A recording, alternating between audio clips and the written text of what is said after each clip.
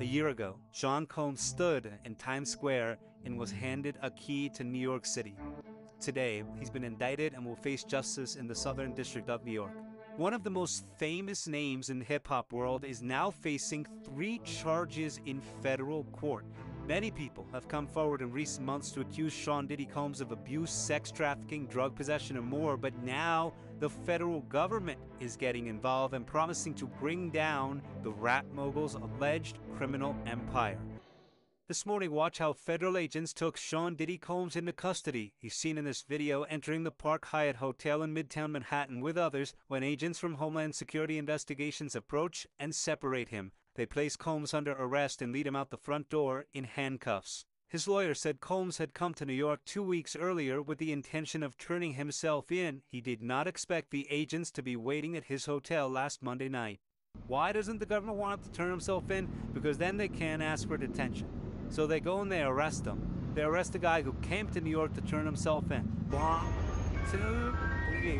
A day earlier, Combs seen out and about in New York with his family, seemingly in good spirits. Combs has pleaded not guilty to racketeering conspiracy, sex trafficking, and prostitution charges. At the center of the case, this 2016 video obtained by CNN that depicts Combs attacking his then girlfriend, the singer Cassie, and then dragging her back toward a hotel room. Federal prosecutors said the video is powerful evidence of how dangerous the hip hop mogul could be to women, part of why two different federal judges denied him bail. This has to be a 100% culture shock. I can't imagine living a lifestyle of the incredibly rich and famous and then going into this very dark, impersonal, cold, austere facility. Combs, who lived in this $50 million Miami mansion, is now in an isolated unit of a federal jail in Brooklyn known for miserable conditions. The special housing unit is a 24 hour lockdown unit, which means that any movement within that unit is controlled and coordinated, and no inmate moves outside of his cell without being in full restraints, to include uh, leg irons, handcuffs, a belly chain, and at least two, if not three, staff members escorting them.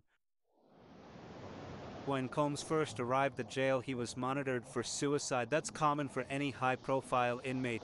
But his attorney says Combs is not suicidal. Rather, guys, he's focused on defending himself. This office is determined to investigate and prosecute anyone who engages in sex trafficking, no matter how powerful or wealthy or famous you may be. No one should doubt our commitment on that.